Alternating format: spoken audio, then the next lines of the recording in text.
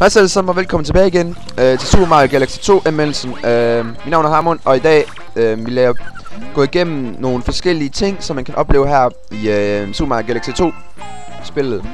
Og øh, grund til, at jeg spiller som Luigi nu, det er, at øh, Luigi har en speciel evne, hvis man kan kalde det. At øh, han for det første kan hoppe højere, og for det andet, så kan han glide. Hvis når man løber, så, glider, så, kan man, så glider han. Men også mest fordi, at øh, jeg gider spille, spille til Mario. Men øh, ja, her vil jeg gerne vise jer, hvor første gang man møder øh, Yoshi her. Og som man kan se, så øh, rider man på den ryggen af den, og så kan man få den til at hoppe højere, end man plejer at kunne gøre. Og øh, den her Yoshi her har altså forskellige evner, for eksempel kan den spise mennesker, eller fjender hedder det så, øh, og få forskellige ting. Øh, for eksempel, hvis nu man spiser sådan nogle bær, så kommer der noget, så spytter den, øh, spytter den, ja, stjerner, eller star starbits ud. Og det er jo faktisk meget nyttigt jo. Men øhm, som I kan se, så øh, hvis nu at man bliver ramt af en fjende, mens man er på Yoshi, så øh, løber han bare fuldstændig forvirret rundt. Og til sidst så ender det med, at han går i sit, tilbage til sin æg og tilbage til sin redder automatisk. Som vi så lige der.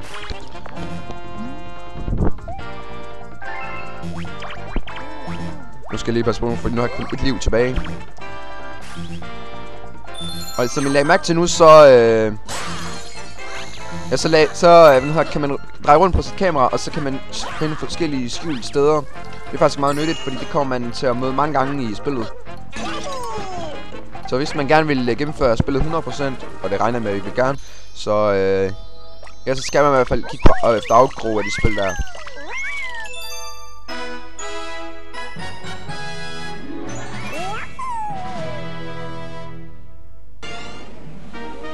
Den her bane, det er en lidt speciel bane, fordi det, kom, det var ikke i etteren, hvis jeg husker rigtigt.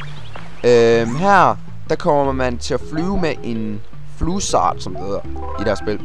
Og øh, jeg trykkede no thanks til, at jeg gerne vil have en tutorial, altså hvordan man, hvordan ligesom man styrer den her fugl her, det tror jeg ikke, vi vil se. Øh, det er meget sjovt at se, hvordan den fungerer rigtigt. Og øh, det fungerer faktisk bare med, at man holder Wiimoten vandret, og så skal man ligesom styre den med øh, Wiimoten op og ned og sådan noget der. Og de portale, I kan se, jeg går igennem nu, det er en portal, som gør, at hvis man får fat i alle de fem portaler, det er, øh, så kommer, så bliver der sådan åbnet sådan en lille hemmelig øh, sted, hvor at man kan, så, hvor man kan øh, få den der ekstra comment star. Og hvis I ikke ved, hvad comment star er, så er comment star en, en form for øh, stjerne, som gør, at hvis man får en comment star fra selve banen, så kommer man til at øh, prøve banen igen, og så få fat i en ja, comment star, som det hedder. Okay, lad os lige prøve at gennemføre banen her, uden at det dør. Fordi at, øh, jeg vil faktisk indrømme, at den her bane, den er faktisk meget svær.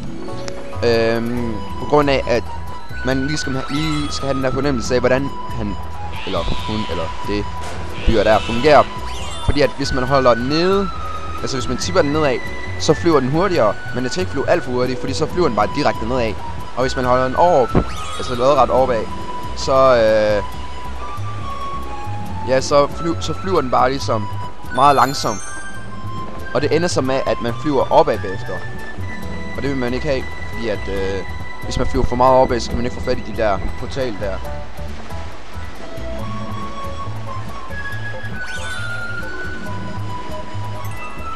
Og som I kan se, så er der faktisk tre huller, man kan gå igennem nu. Og det er faktisk lige med, hvad for en man går igennem. Så øh, ja, der, der, der, der er bare en bane. Jeg tror ikke, der er stadig specielle ting.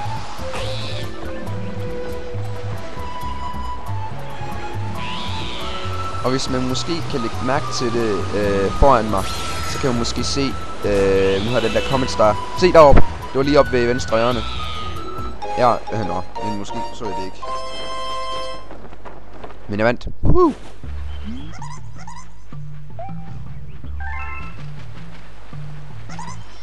Og så får man stjernen. Og her gælder det bare om at gennemføre banen, i hvert fald.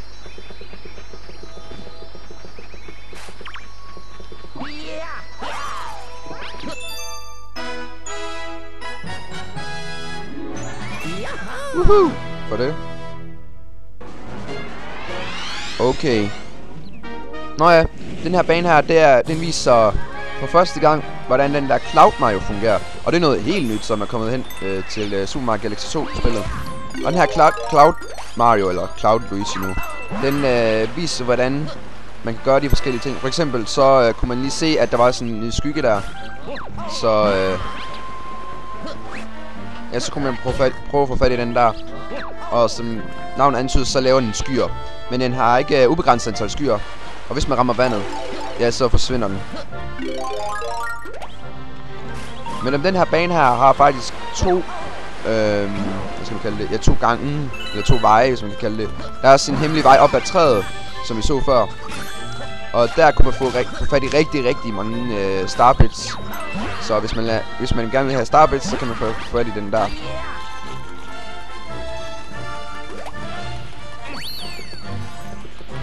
Og det skal også lige siges, at hvis man ikke har øh, den der cloud power up her, så kan man ikke flyve på de her skyer, så det er faktisk meget vigtigt, at man har den. Så det lige skal nævnes.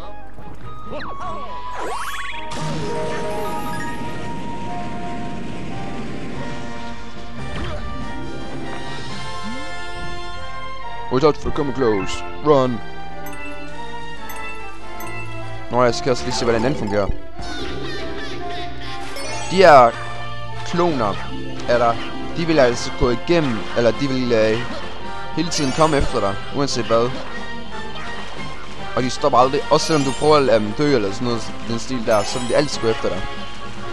Så det gælder mig bare om at løbe, og løbe og løbe og løbe, og det følger efter dig hele tiden.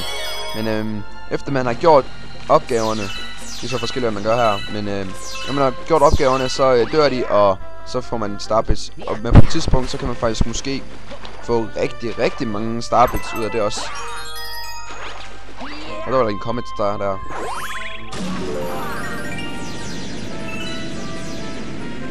Men den her bane, den sætter nogle helt nye grænser. Fordi man troede måske, at grænsen allerede var nået, da øh, etteren kom ud. Men øh, der kommer faktisk nogle helt sindssyge nye ting. Og øh, ja, det er helt overvældende, at der kommer flere nye ting. Fordi man, den lader aldrig overraske en. Eller det lader overraske en hele tiden.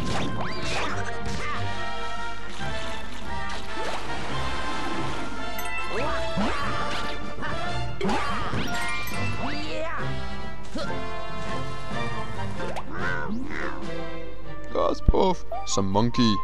Mm. Ja, den her abe her, den, den kaptajn taler om her, det er en såkaldt chimp, hedder han, mener jeg. Og han er sådan en form for pro-player, hvis man kan kalde det, fordi at øh, han har lavet nogle rekorder i alle baner, og nogle gange så skal man ligesom... Øh, ja, så skal man gennem, vinde over ham, før man kan få en stjerne ud af ham. For eksempel her, så får man en stjerne, fordi man nåede toppen af det her sted. Og øh, i nogle andre baner, så skal man for eksempel vinde spillet på hurtigst tid. Eller få fat i øh, så mange coins der i hurtigst tid, eller sådan noget den stil. Og så får man en stjerne ud af ham. Den her bane, den er faktisk også speciel. Her får vi igen øhm, set det nye øhm, Rolling, nej Stone Luigi her. Det er en power-up, som gør, at man kan rulle gennem næsten alt. Og det er faktisk meget sjovt der at prøve der. Kan se, så kan den rulle gennem alt. Så hvis man bruger den ordentligt, så kan man måske, så kan man godt vinde banen. I den her bane her, så den er virkelig, virkelig svær, synes jeg. Fordi jeg tror, jeg skulle bruge den over 20 gange eller sådan noget. Jeg tror også, den der... Øh, der kommer også sådan en hemmelig spøgelses øh, person forbi på et tidspunkt. Øh, da jeg tabte alt for mange gange, så viste hun, hvordan man vandt banen. Eller det gjorde den automatisk, hvis man kan kalde det. Det var sådan en automatpilot, som gjorde, at man vandt, øh, at man vandt banen. Og det ender så med, at øh, man ikke får en såkaldt... Øh, man får, man får ikke en almindelig star, man får en bronze star, altså bronzestjerne. Og den kan man ikke altså ikke komme videre på. Altså man skal have en rigtig stjerne, før man kan vinde med den. Men jeg kommer ikke, desværre ikke til at vise jer, hvordan den der øh, spøgelse, eller comet, comet øh, eller andet, jeg kan ikke huske, hvad den hedder. Øh, men den der comet fyr, der kommer. Det må I prøve at købe spillet for. Ellers kan jeg måske lave en anden video med det på et tidspunkt. Fordi at man skal dø rigtig mange gange før den kommer. Og det er ikke alle baner, den kommer, mener jeg. Men jeg ved, at den her, den her bane, der kommer. Nu er en ting mere. Det var, at øh, hvis man vinder spillet, øh, eller ikke vinder spillet, men vinder banen, og øh, jeg mener også, hvis man får fat i en Comet Star, så kan man få en Luigi-spøgelse til at komme på banen. Og den viser, hvor, det, hvor de forskellige ting ligger. Selvom man har fået fat i tingene. Jeg synes også, det var lidt underligt. Men øh, Ja, men hvis man vinder banen, så øh, kommer der sådan en spøgelseslut Luigi og hjælper dig med at finde de forskellige ting. Og der er der ikke noget med bronze style eller noget som helst. Og som I kan se, så tæpper jeg virkelig mange gange i det her. Det er virkelig irriterende. Og det lyder ikke så nemt, som det ser ud til. Så derfor så fortsætter vi lige med den næste bane. Øhm, den her bane, den er faktisk meget speciel, fordi at den møder man ikke lige med det samme. Og der var der en øh, Luigi der, spøgelse, som I kan se. Den her, den viser nu, hvordan man gennemfører banen, selvom man har gennemført banen. Jeg synes også, det var lidt underligt. Men den her bane, den møder man ikke lige med det samme. Den kommer i en hemmelig bane, hvis man kan kalde det. Eller en hemmelig... Øh, galakse, hedder det så. En hemmelig galakse kommer den ved. Og øh, den her bane her, det kan man kalde en slags bonusbane, hvis man kan sige det. Hvor at øh, man skal her, hvor man skal trykke på alle de der knapper der. Og så kan man til, i sidste ende... Og nu håber jeg fandme ikke, jeg dør nu. Men det gør jeg vist til den her bane. Ah, stop nu. Sådan her. Og så videre. Godt så. Okay. Nu er godt kørende. Ja, nu dør jeg lige lidt, mener jeg. Ja. Arr. Nå, forfra igen. Men den her bane her, som jeg sagde før, så den er faktisk meget sjov, hvis man, hvis man prøver den. Og den her, den har jeg jo set på et tidspunkt, mener jeg. Åh, oh, helvede. Kom nu. Den Øhm, fordi at man skal jo tilfælde de der kontakter der, og til sidst får man stjernen. Og jeg ved ikke helt, men jeg synes, den her bane, den er faktisk meget svær. Jeg ved ikke hvorfor. Jeg tror det måske det er fordi, at øh, på et eller andet tidspunkt, så ender man med at dø, fordi at øh, man, man tager de der øh, plader, eller ja, de der plader, grønne plader der, som gør, at hvis man trykker på dem, så kan man ikke komme tilbage på dem igen, fordi de skrumper ned til ingenting.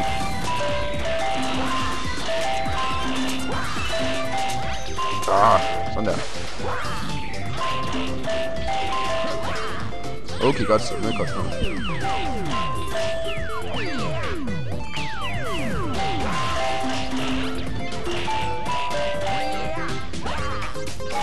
Åh, oh, hvor er så på?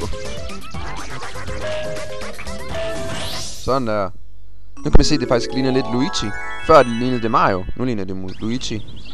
Jeg ved ikke, om det er bare mig, der synes det, men... Yeah. Og så kan man se, så ligger spøgelses Luigi'en på stjernen nu. Og så har man vundet den. Woohoo! Og øhm, der var faktisk en ting mere.